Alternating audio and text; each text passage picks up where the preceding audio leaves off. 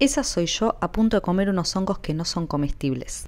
¿En serio vas a contar eso? Sí, quiero contar esta experiencia para que se entienda que nos la podemos mandar, porque existen cientos y cientos de especies de hongos y se van descubriendo cada día más, pero acá en Tierra del Fuego veintipico nomás son comestibles, entonces hay que tener mucho cuidado y respeto cuidar a la naturaleza, cuidar nuestro cuerpo y dejar que siga haciendo su trabajo que es el de descomponer y reciclar toda la materia orgánica. ¿Cómo saber si un hongo es comestible? Me hacen mucho esta pregunta. Lo mejor para tener la certeza de que el hongo se pueda comer es salir con alguien que conozca sobre hongos a recolectar, salir con una persona a hacer una caminata de reconocimiento. Nunca confíes al 100% en una inteligencia artificial, en una aplicación en la cual vos subís una foto y te dice qué hongo puede ser. Muchas veces esto puede fallar porque considera la foto de alguna forma, no toma alguna parte del hongo. Es más, existen cursos especiales para aprender a fotografiar el hongo y poder identificarlo bien. Hay grupos de Facebook especiales para reconocimiento de hongos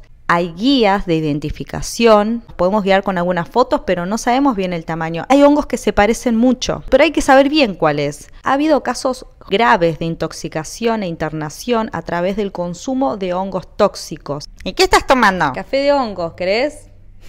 No, de milenrama y hojas de frambuesa.